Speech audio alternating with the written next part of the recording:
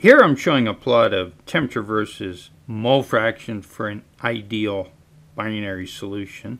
We have a liquid and we raise the temperature. Important that this plot is at constant pressure. Now as we raise the temperature, we'll hit this blue line. That's where the first bubble vapor appears. So this is the bubble line, bubble point. And for this particular composition, this then would be the bubble temperature. And of course, as we continue to add heat and vaporize more, the temperature changes. If we look at the other case where we have a vapor, so we're at high temperature, and we lower the temperature, then at some point we hit the dew point and the first drop of liquid forms.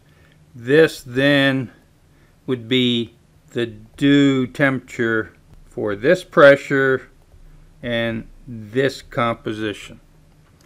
And these two lines are just the results of Raoult's law. Let me write that down. So the mole fraction in the liquid phase times the saturation pressure in the liquid phase equals mole fraction in the vapor phase times the pressure.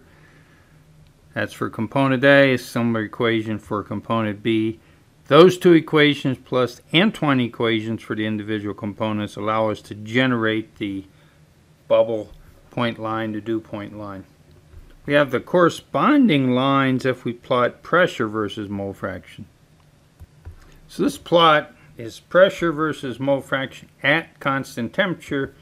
If we have a liquid at this point and we were to lower the pressure, here is where we would see the first bubble of vapor. So this then would be the bubble point line and this would be the bubble pressure at this temperature corresponding to the graph and for this mole fraction of 0.4 likewise this is the dew point line and for this composition this would be the dew pressure for this temperature and composition these two lines are also generated just using the Raoult's law equations and knowing the pure component saturation pressure.